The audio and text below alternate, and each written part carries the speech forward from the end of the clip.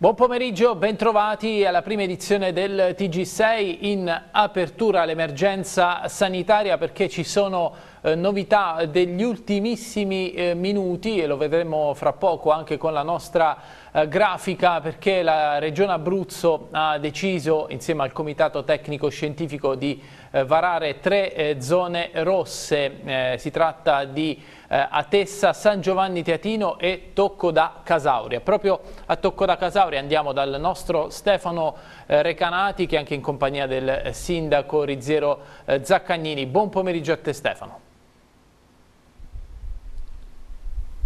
Buon pomeriggio Alfredo, buon pomeriggio telespettatori del TG6 e sì, sono le notizie che ci arrivano dalla regione Abruzzo, notizie degli ultimi secondi come hai detto bene tu, eh, perché anche Tocco da Casauria sarà eh, zona rossa a, a, a, brevissimo. Ecco, la situazione è scoppiata negli ultimi giorni, ricordiamo che l'Abruzzo è zona gialla, però in questo preciso comune della, della, provincia di Pescara ci sono tanti contagi, ci sono delle scuole eh, chiuse eh, eh, via dell'ordinanza emessa ieri sera proprio dal sindaco Rizziero Zaccagnini e quindi il presidente Marsiglio a colloquio proprio con il sindaco della cittadina ha deciso di eh, inserire proprio il comune di Tocco da Casauria in zona rossa. Però per adesso vi restituisco la linea e poi sentiamo anche le parole del sindaco. Sì, eh, tra l'altro il comitato tecnico scientifico eh, dovrebbe anche aver eh, varato, lo sapremo con l'ufficialità fra pochissimo,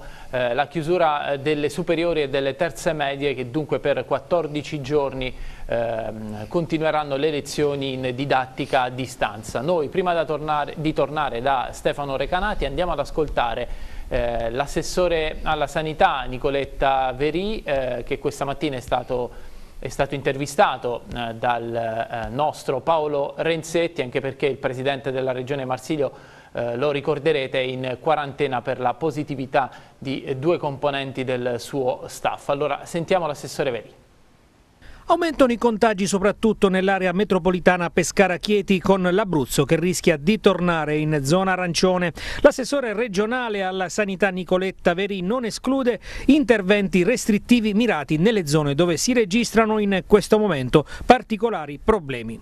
I contagi sono in aumento, specialmente nella zona costiera, nella provincia di Pescara e di Chieti. Abbiamo avuto ieri un numero elevato, anche oggi bisogna dire dire però che sono già in diminuzione. Stiamo portando avanti il tracciamento di questi focolai, stiamo analizzando quelli che sono i risultati, in modo particolare l'attenzione sulla variante che voi sapete è presente nella nostra regione, abbiamo un numero eh, importante e quindi stiamo verificando quelle che sono le procedure e stiamo mettendo in atto tutte le, eh, le valutazioni del caso. Assessore, in questo momento alla base dei dati disponibili c'è il rischio del ritorno in zona arancione? Oggi eh, è stato riunito il comitato tecnico, quindi valuteremo in base agli indici, in base a quelli che sono i dati, eh, non parlerei di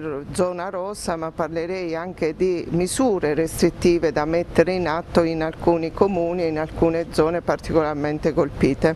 L'ospedale di Pescara è andato in affare fanno nei, nei giorni precedenti quando c'è stato un numero elevato di ricoveri positivi del pronto soccorso è in atto la rete emergenziale di tutta la nostra regione per cui subito si sono attivate le emergenze e, e hanno trovato ospitalità questi pazienti in altre ALS per cui adesso è una situazione gestita. Insomma, abbiamo ascoltato le parole dell'assessore Veri, situazione gestita però curva eh, che in eh, aumento da qualche giorno, eh, eh, si presuppone Stefano, poi magari eh, chiederai anche l'opinione del sindaco eh, Zaccagnini, che questo pomeriggio possa arrivare anche la fine della zona gialla e il rientro in zona arancione per l'Abruzzo. Linea a te Stefano. Eh sì, Alfredo, perché comunque la dottoressa Veria aveva già annunciato in mattinata come alcuni comuni potessero già dalla giornata di oggi o di domani comunque tornare eh, a, a, entrare in zona rossa e uno di questi, come abbiamo detto, è Tocco d'Acqua Sauria. E allora io ringrazio intanto il sindaco di Tocco Rizzero Zaccagnini per averci dato la possibilità di intervistarlo qui in diretta al nostro TG. Eh, I numeri eh, negli ultimi giorni, come abbiamo detto, si sono impennati. Sindaco, la situazione attualmente com'è? La situazione attualmente è questa, abbiamo iniziato uno screening chiaramente mirato, non a tappeto, proprio per fare un tracciamento eh, puntuale e preciso della situazione a Tocco, assieme alla ASL abbiamo allestito qui alle nostre spalle un centro tamponi dedicato all'emergenza qui a Tocco e dagli esiti dei, dei, tamponi siamo giunti ad oggi a 64, 64 casi, in, eh, pensiamo chiaramente comunque in, in leggero aumento momento perché ancora, stanno ancora processando eh, i test di, di, ieri e quindi avremo informazioni nella serata di oggi. Chiaramente un, non, non, è tanto l'aumento dei numeri quanto il fatto che si sta ramificando eccessivamente e quindi è evidente che eh, necessita di una situazione di, di, di stop per poter fare un controllo migliore a tappeto e mirato. Ecco da ieri sera eh, la decisione proprio dell'amministrazione comunale di chiudere i plessi scolastici eh, chiusi per oggi 5 febbraio e domani eh, 6. State pensando anche di estendere la proroga anche eh, a lunedì?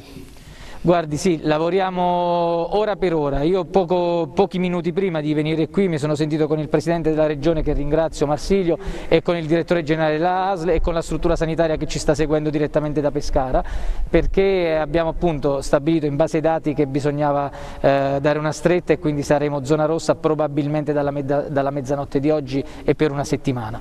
Eh, cosa questo comporterà lo spiegheremo nelle, nelle prossime ore eh, dopo aver letto l'ordinanza del del, Presidente Marsiglio e probabilmente eh, le scuole anche eh, avranno ulteriori giorni di, di fermo, di, di, stop per, eh, per eh, capire meglio anche all'interno della scuola se c'è un'evoluzione dei contagi che ad oggi sono limitatissimi però siccome è uscito, è uscito qualche dato che ci fa mettere in allarme abbiamo preferito intanto anticipare la chiusura delle scuole e verificare giorno per giorno cosa dobbiamo fare. Ecco Sindaco, parlavamo di questi dati in aumento sul eh, territorio comunale, però a microfoni spenti eh, ancora sapete se tra questi eh, contagi, da questi positivi, ci sono eh, dei contatti con delle varianti? Sì, non lo sappiamo perché abbiamo iniziato a fare questi tamponi, ripeto, specifici, mirati qui a Tocco e durante i, i test eh, chi li sta svolgendo, il personale sanitario che ringrazio infinitamente per lo sforzo che sta facendo, eh, fa un test doppio, cioè eh, la spiego proprio praticamente come me l'hanno spiegata a me i medici.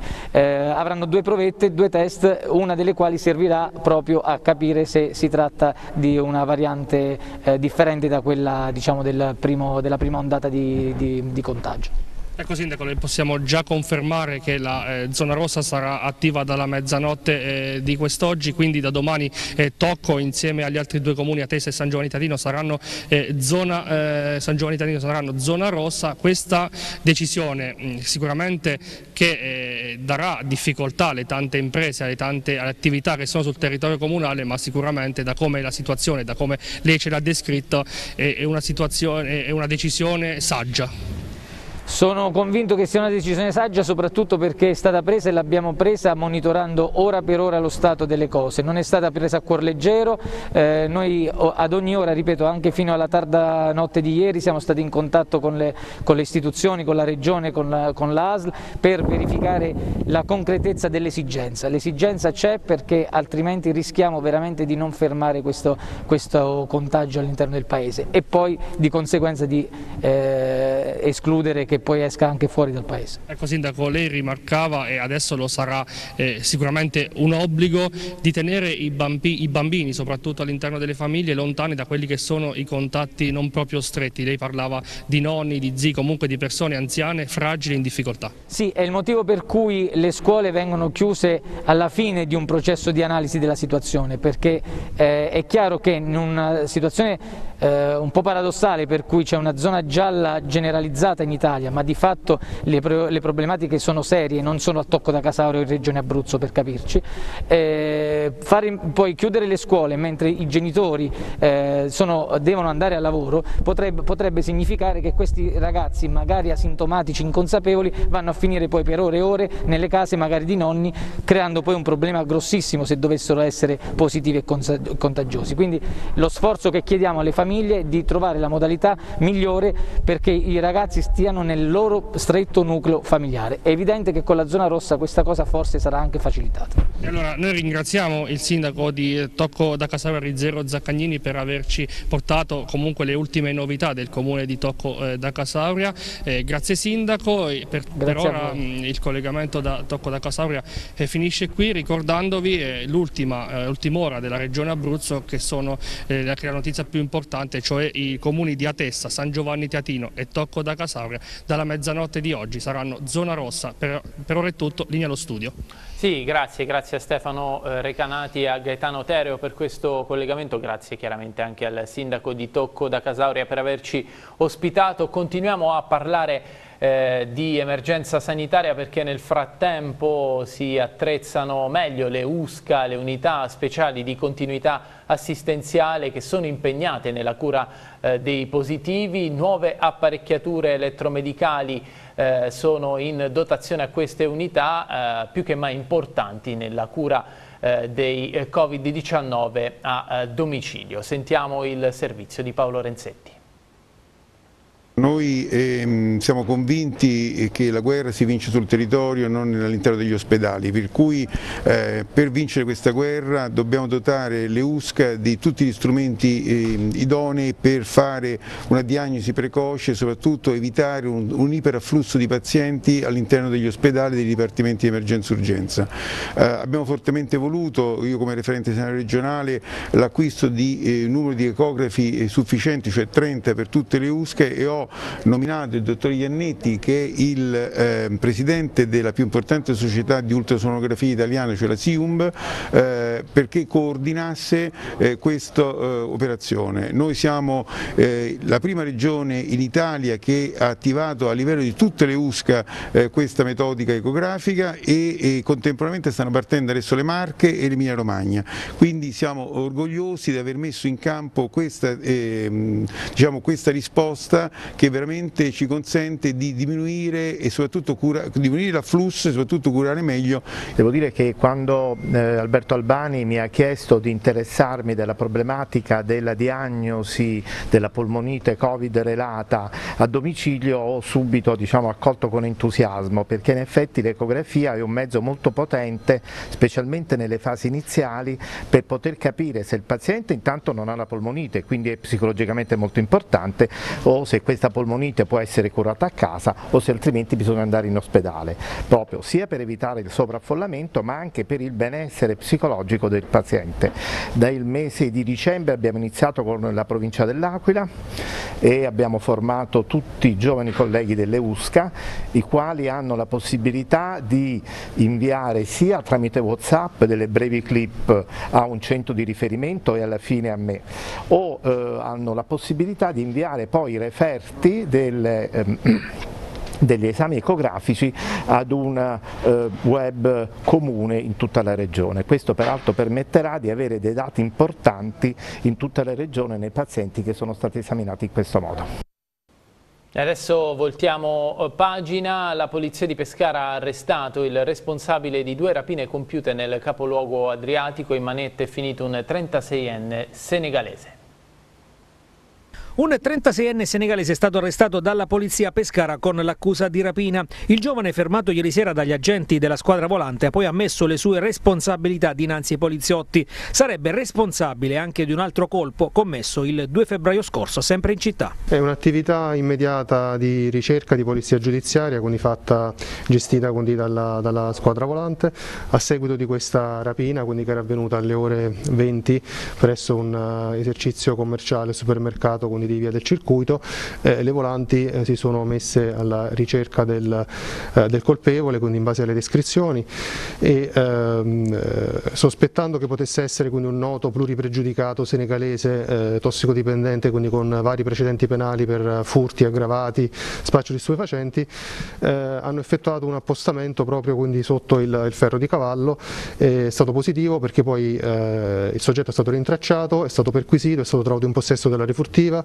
eh, in possesso anche del, dell'arma utilizzata per minacciare la cassiera e per eh, impossessarsi del, dei 600 euro. Eh, è stata recuperata anche la felpa e il giubbotto quindi particolare quindi, che indossava al momento della rapina ehm, e eh, successivamente quindi, durante la redazione degli atti di polizia giudiziaria, quindi anche grazie all'intervento del commissario Zaccone, quindi, eh, anche ammesso e confessato di aver commesso eh, il 2 febbraio un'altra rapina con le stesse modalità in via dei Bastioni presso quindi una locale osteria.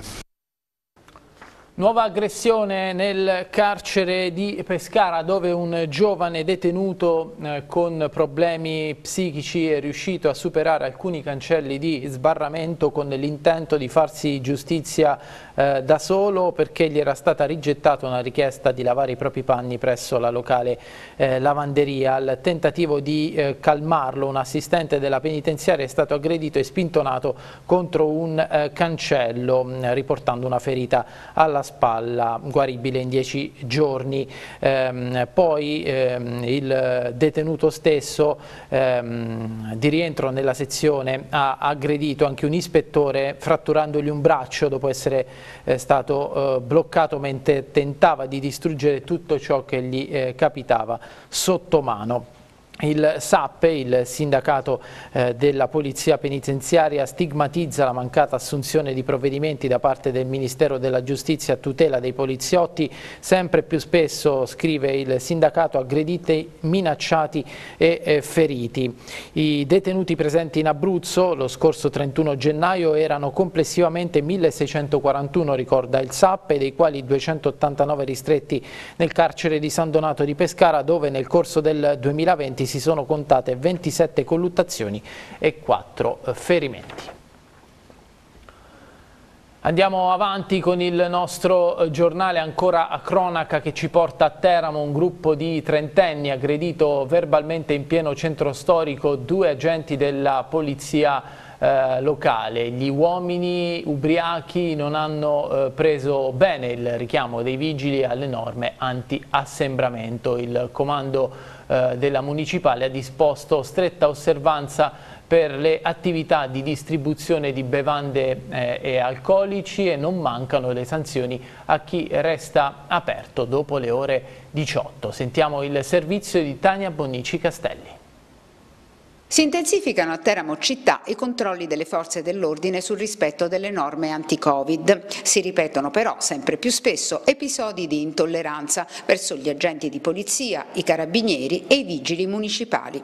Questi ultimi sono stati aggrediti verbalmente proprio ieri da un gruppo di trentenni in pieno giorno e in pieno centro storico. Ubriachi, assembrati e senza mascherina, gli uomini non hanno preso bene il richiamo dei vigili, dando in escandescenze. Sotto stretta osservanza restano quindi le attività di distribuzione di bevande e alcolici. La polizia locale ricorda che dalle 18 in poi i bar devono chiudere, non possono fare asporto ed è proibito bere in strada. Regole che ancora oggi non sono chiare a tutti. Il bar Duomo in Piazza Orsini, per esempio, è stato appena multato per essere rimasto aperto dopo l'ora consentita. 200 euro di sanzione che incidono purtroppo duramente sul bilancio dell'attività.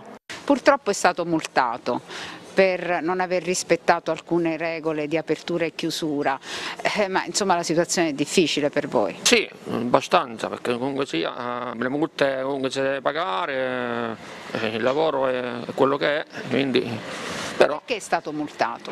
Ieri sera sono venuti i vigili, erano le 7.20, io io personalmente sapevo che comunque sia che, che mm, eh, l'avevo letto sopra un, un, sito che si poteva lasciare aperto a sport dopo le 6 invece i vigili sono venuti e mi hanno detto che no e quindi è scattato l'ispezione, la contestazione e tutto. Come ve la siete passati in questi mesi di lockdown?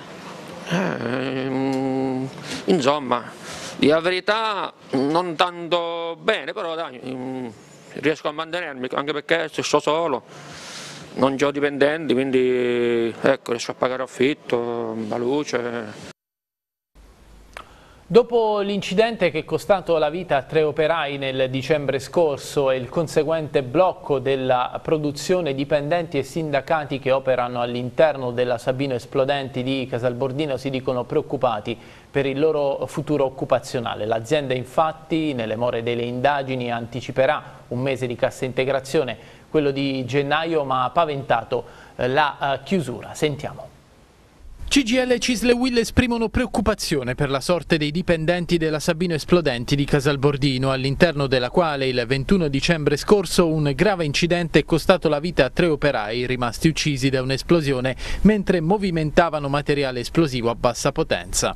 Mentre sull'episodio indagano i carabinieri coordinati dalla Procura di Vasto e mentre esposti delle associazioni ambientalisti ed in particolare del Forum dell'Acqua Abruzzo gettano ombre sulla corretta applicazione delle disposizioni della direttiva Seveso, la produzione è ferma proprio per il sequestro dettato dalle esigenze degli inquirenti. L'azienda, scrivono i sindacati al termine di un incontro con la proprietà avvenuto nella sede di Confindustria, ha confermato di essersi messa a totale disposizione degli inquirenti affinché nel più breve tempo possibile si giunga alla chiusura delle indagini. I rappresentanti dei lavoratori hanno sollecitato la Sabino Esplodenti a farsi carico delle retribuzioni dei dipendenti che che sono attualmente in cassa integrazione, ma i referenti aziendali, sottolineando l'attuale difficoltà finanziaria conseguente al blocco produttivo, hanno garantito il pagamento della sola mensilità di gennaio, paventando anche la possibile chiusura del sito produttivo.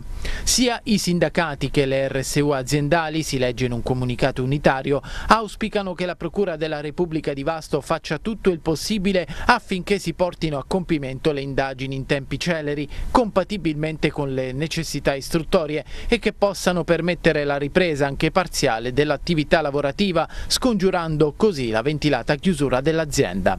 La Sabino Esplodenti è uno dei 23 siti a rischio di incidente rilevante disseminati in Abruzzo. Per questi la Giunta regionale nelle ultime ore, su proposta dell'assessore Campitelli, ha deliberato una nuova pianificazione e programmazione delle attività ispettive ordinarie. La programmazione per il quinquennio 2021-2025 2005 è stata elaborata con il supporto dell'Art Abruzzo sulla base dei criteri individuati dal Ministero dell'Interno in collaborazione con ISPRA. La programmazione suddivide gli stabilimenti a rischio in classi differenti di priorità, a ciascuna delle quali è stata associata una frequenza di ispezione minima sulla base degli indici di riferimento previsti dalla legge. Ora lo sport, partiamo dalla B, domani alle 14 il Pescara ospita la Regina per un match che è già delicato in chiave salvezza. Ancora out Galano e Memushai, recuperato Seter, l'allenatore Breda, ex della eh, partita, traccia anche un bilancio del mercato appena concluso. Sentiamo il servizio.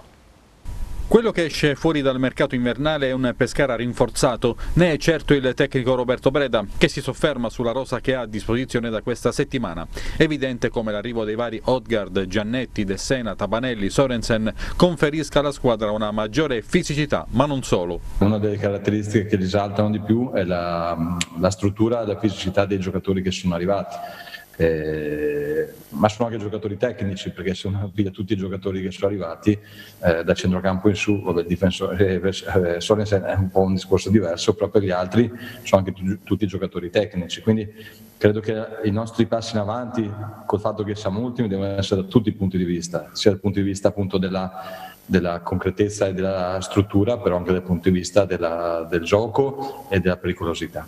La rincorsa salvezza, la risalita dall'ultimo posto passano per un ritmo di punti e di vittorie decisamente sostenuto nel girone di ritorno. Logico che dobbiamo sapere che dobbiamo raddoppiare i punti dell'andata, perché invece di farne 16 devi farne una trentina. Eh, 30 sono, vuol dire un punto e mezzo a partita. Una vittoria ogni due. Eh, non è una cosa impossibile, perché in ogni caso non è che dobbiamo farli solo noi, perché non è che siamo 30 punti da chi sta davanti a noi, devono farli un po' tutti, chi è più bravo da questo punto di vista più, eh, si salva. Fino alla settima, ottava partita mia avevamo quella media là, eh, quindi eh, anche là non è una cosa impossibile neanche per il nostro gruppo, dobbiamo mantenerla adesso per, eh, per il resto delle partite. questo vuol dire, logico, vincere su 7, 8, 9 partite, dipende, ma quindi devi giocare sempre per provare a vincere. La partita di domani con la Regina è già fondamentale perché è uno scontro diretto e oltre ai punti deve dare al Pescara la spinta giusta per poter poi sfidare le migliori del campionato. Setter ha recuperato e sarà a disposizione. I giocatori arrivati lunedì stanno bene e il principale candidato a partire dal primo minuto è De Sena. In panchina sarà sfida fra ex. Marco Baroni guidò il Pescara nella stagione 14-15 per poi essere esonerato a seguito della sconfitta contro il retrocesso varese alla penultima giornata, avvicendato da Oddo. Per Breda una partita speciale perché con la Regina ha iniziato ad allenare prima la primavera e poi la prima squadra per sostituire l'esonerato Ivo Iaconi nel febbraio 2010 e portare la squadra alla salvezza, Regina allenata anche due anni dopo. È un'altra squadra che si è rinforzata perché è andata a prendere gli elementi, poi proprio um, hanno cambiato modulo nel cambio d'allenatore in maniera radicale, passando da una difesa a 3 a un 4-2-3-1, 4-4-2 e quindi hanno veramente preso degli esterni, ha fatto secondo me una, un mercato molto funzionale.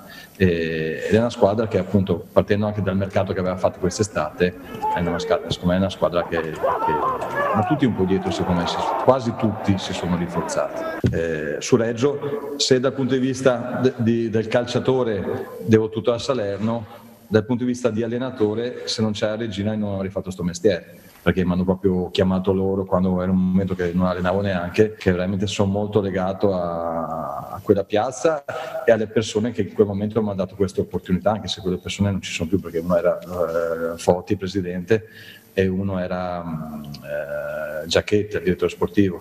Precedenti poco incoraggianti per il Pescara contro la Regina. Negli ultimi cinque episodi all'Adriatico i biancazzurri non hanno mai vinto. L'ultima affermazione casalinga risale al febbraio 97, 3-0 firmato Giampaolo, doppietta e Gelsi. Direzione di gara affidata all'internazionale Fabio Maresca di Napoli che torna a dirigere dopo lo stop a seguito delle polemiche per Udinese Inter. L'ultima vittoria del Pescara con Maresca risale all'ottobre 2015, ma in quella stessa stagione Maresca fu l'arbitro della finale di ritorno di Trapani che consegnò ai biancazzurri biancazzurri, l'ultima promozione in Serie A. In Serie C sarà Luca Angelucci di Foligno a dirigere il match di domenica fra Teramo e Monopoli. Tra i biancorossi sarà sicuro assente Mungo, mentre ancora da valutare la disponibilità di Diachite, oltre a Vitturini. Sentiamo il servizio di Andrea Costantini.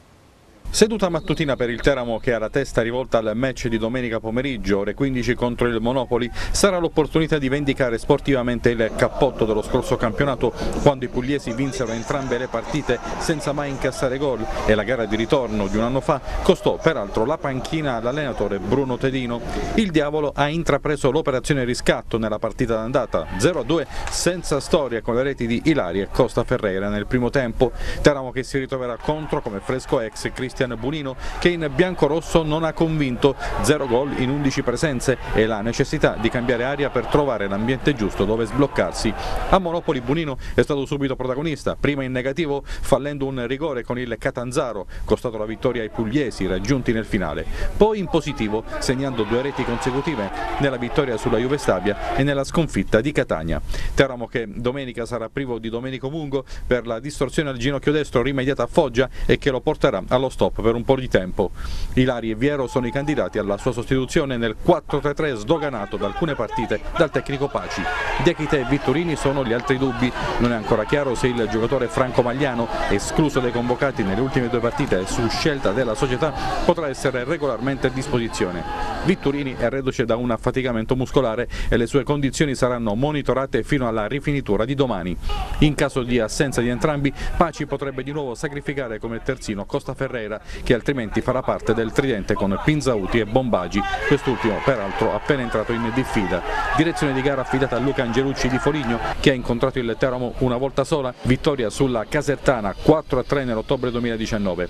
Tre precedenti col Monopoli, due vittorie, un pareggio e nessuna sconfitta per i pugliesi. Nella rosa del Teramo già da giorni si allena il promettente centrocampista classe 2002 Luca Lombardi, arrivato in prestito dal Monza. Il giocatore parla dell'inserimento nel nuovo gruppo e dei suoi suoi trascorsi alla Recanatese quando giocava più avanzato. Sì, diciamo che quando ero a Recanati giocavo più in una posizione più avanzata, più un trequartista, invece quando sono stato acquistato dal Monza mi hanno spostato un po' più, mi hanno un po' arretrato, diciamo, più mezzala play, più, un po' più regista, sì. Sono belle sensazioni, comunque cioè, mi sto trovando molto bene, mi hanno accolto bene e spero di dare un buon contributo per questa squadra e mi aspetto che, di crescere ancora, ancora perché tanto cioè, sono ancora un ragazzo e, qua ho trovato un gruppo che mi può aiutare ancora a crescere, come c'è anche il mister che ha giocato a alti livelli, mi può aiutare.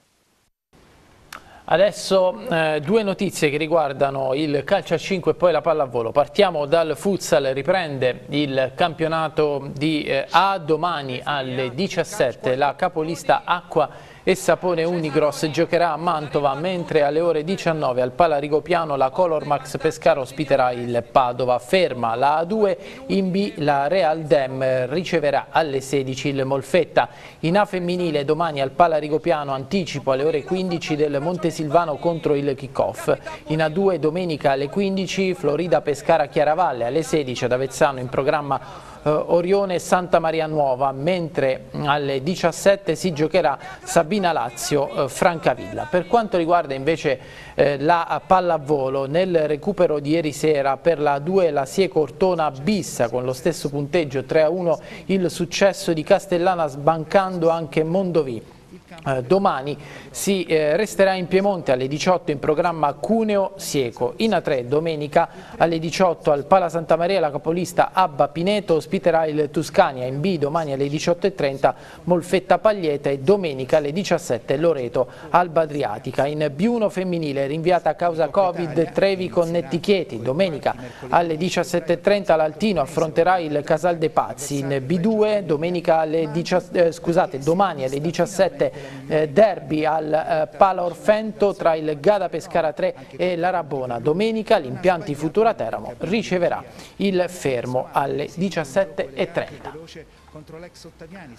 Prima di chiudere vi ricordo la notizia con la quale abbiamo aperto il nostro eh, telegiornale, l'ultima ora con l'ordinanza e la firma del Presidente Marsilio che si attende in giornata dalla mezzanotte zona rossa per Tocco da Casauria, San Giovanni Teatino ed Atessa, questa è la decisione del Comitato Tecnico eh, Scientifico di concerto con eh, la Regione eh, Abruzzo, eh, si sta valutando, lo apprenderemo nel corso del eh, pomeriggio, anche di ehm, chiudere le terze medie e le superiori che dunque dovrebbero proseguire per i prossimi 14 giorni la didattica a distanza. Vi ricordo anche che nel eh, pomeriggio si attende la decisione della cabina di regia nazionale, vedremo se l'Abruzzo resterà eh, zona gialla o, come più probabile eh, si tornerà in zona arancione. Chiaramente eh, potete eh, seguire tutto nel prossimo aggiornamento del TG6 alle ore 19, i nostri servizi sono on demand su tutte le eh, piattaforme internet da parte mia l'augurio di una buona giornata.